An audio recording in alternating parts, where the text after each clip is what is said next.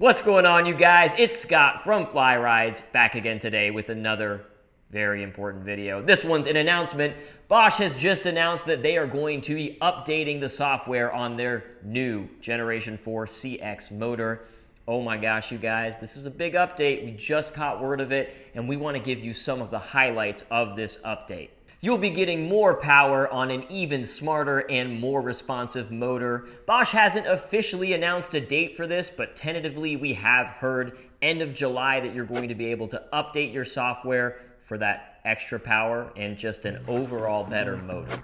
So let's stop talking about it and break into some of the highlights that we've seen so far and what they mean for you. Also, some questions that we want answered.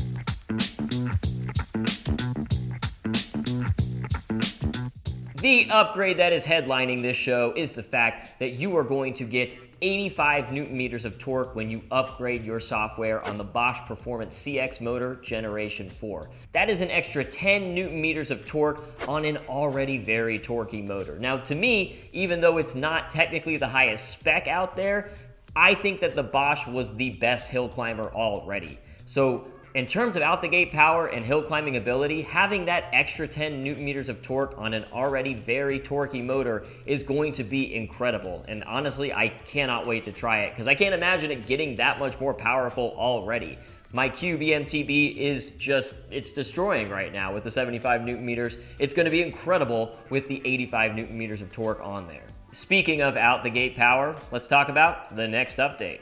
The next thing this update will give you is a quicker start from a stop, according to Bosch. Now, again, this already had great out-the-gate power. If you're not familiar with my verbiage, I say that out the gate power is essentially what you're getting right off the bat. I already think Bosch was the best at that, so I am super stoked to see how it could get better. Uh, they said there's almost no lag. Uh, the people who have test ridden it are saying like there is just like nothing. It is like maximum torque right away. One of the really cool things about this is the fact that it's going to be at lower cadences as well, which means it should be just, you know, like the second you start, no matter how like, you know, how much effort you're putting into it, the second you start putting effort in there, it's just going to be like max power.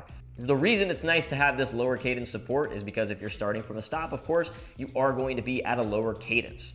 That cadence being zero. Basically, my understanding is, is that it's going to be way more helpful even if you're starting in too high of a gear uh, in comparison to the old software. And that brings us to our final update announced by Bosch, Extended Boost Mode. What is it? Well, it is more complicated than it sounds, but it sounds pretty cool. Now, initially, my understanding of extended boost mode was that it was just going to be a more responsive motor, generally speaking. Uh, but that's actually not the case.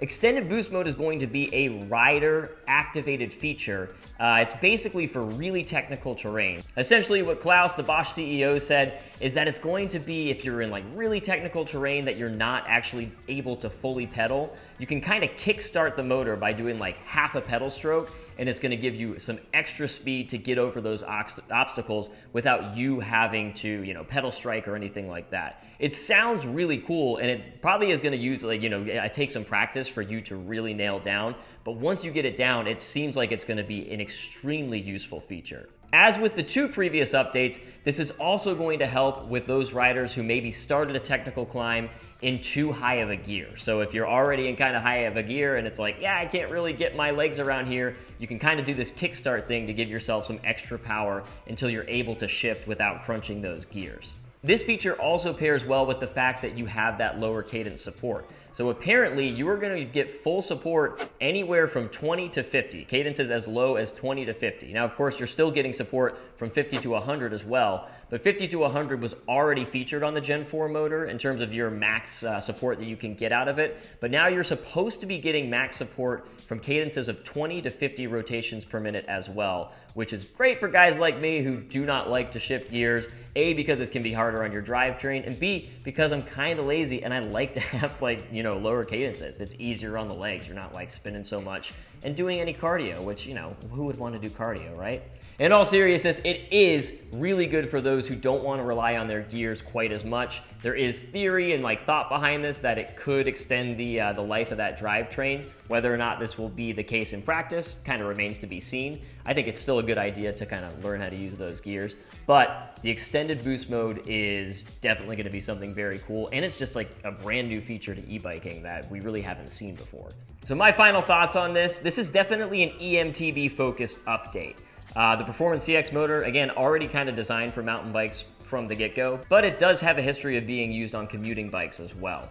So whether or not you need to get this upgrade is uh, kind of up to you. Honestly, I think if you are using the Bosch Generation 4 CX motor on a commuting bike, the newton meters of torque that you're getting, the extra 10, is probably worth it alone. You probably aren't going to be using the things like the extended boost mode, but I would say it's definitely worth it.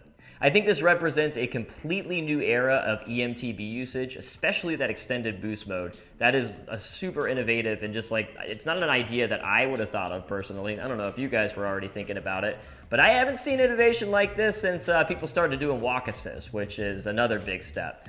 But I really like the idea that uh, on the super technical stuff, there is a way out of those situations. Because um, that's part of the fun of e-biking in the first place, e-mountain biking, is that you are able to get up climbs that you otherwise wouldn't be able to because you got the motor on there but it also means that you're dealing with harder terrain than you normally would be. So having any sort of extra help just to add to that fun is awesome. I really like that idea. If you are excited about this update, make sure to subscribe to this channel because we will be updating you as we hear more information, especially if you live in the Southern California area. We are planning on doing some sort of launch party uh, with the, uh, the new Bosch software where you can come get your Bosch software updated. Um, leave a comment below if you guys have any questions. I'll see if I can get them answered for you. But that is all the information I have for now. Thanks for watching. We will see you next time.